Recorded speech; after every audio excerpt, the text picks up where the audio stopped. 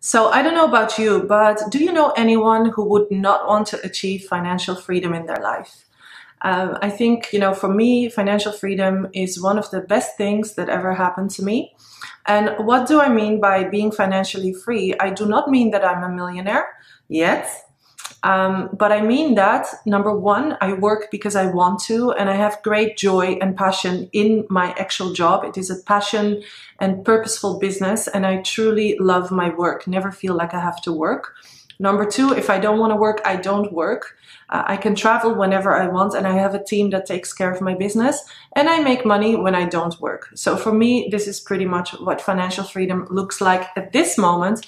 And I've spoken in previous videos about redefining the concept of financial freedom because we always think that it has to be um, about having some sort of mansion and billions of dollars in investments and stocks. But it doesn't really have to look like that, right? We can redefine what that financial freedom looks like for, for, for us, like for our individual situation. So anyway, I know from experience that having more freedom, having, having more money, having more finances to, to create that freedom is obviously something that brings a lot of joy and happiness and ease to life.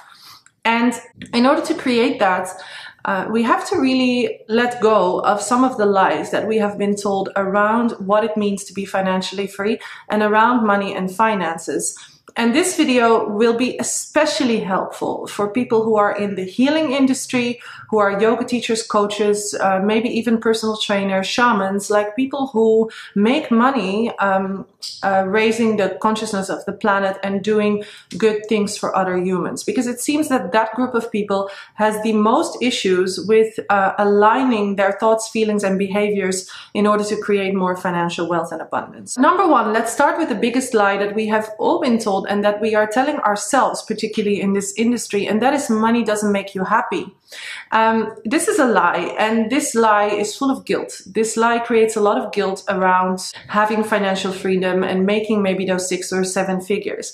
So, if you deep down believe that you're not supposed to want money or that money is not supposed to make you happy, of course, your point of attraction will be one of guilt, right? You're not, you want it on the one hand, but subconsciously, subconsciously you believe you're a bad person for wanting it.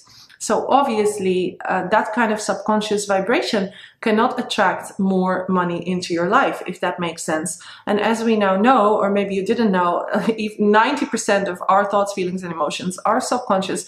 So it's super important to be in alignment, meaning that our conscious thoughts have to be in alignment with our subconscious or unconscious thoughts. We have to make the unconscious conscious in order to attract and create what we want, right? So money doesn't make us happy, supposedly. I think it's a lie. I think money makes you super happy. I think money gives you freedom. I think money allows you to do things you want, uh, take care of yourself better, buy organic food, drive a car you want, uh, travel, have all the experiences that you actually really need also in order to take care of yourself. Uh, is money the only thing that makes happy? No. Is money in itself the thing that makes you happy? No. But it is what you can do with it, right? That creates a lot of happiness and freedom. And having been broke and lived in a car for several years and now having this amazing, beautiful six figure profit brand, I surely feel more happy and more stable now than I did before. And I have no shame in saying that either. So if we want to attract more abundance, the first thing we need to do is to stop believing that we are guilty for wanting more money and feeling that money will make us happy or will add to our happiness. That's okay to feel. The second thing I wanted to touch upon is that sometimes people can have uh, beliefs around they shouldn't want more than they need. Uh, it's kind of related to what I was just talking about, but recently I was talking to one of my clients and, you know, she had difficulty manifesting uh, X amount more every month. And when we kind of digged into why it wasn't happening, um, we found out that she felt like she was guilty for wanting more because she had spent a lot of time with kids in slums and she felt like, you know, there's people in this world who have nothing. So why should I want more than the absolute bare minimum? Now, obviously, that's a very noble thing to think. But at the same time, you are not supposed to dim your light and to want less just because other people are suffering, right? In fact, maybe if you had more, you could do things for these people if you wanted to. Um, you could create foundations. You could travel to these countries and, and help. You could do a lot of things with the money that you would make, right? So this idea that so many people are suffering and therefore we shouldn't want more than we need is obviously also not really valid. The funny thing is the moment that we demystified that and that we kind of got to the core uh, belief and cleared it, within no time, she started attracting more money. Within no time, like the next day, things started happening. So again, she changed her belief system and then the outside reality started reflecting that. The last thing I wanted to touch upon is the idea that if we make more money, we should give to charity.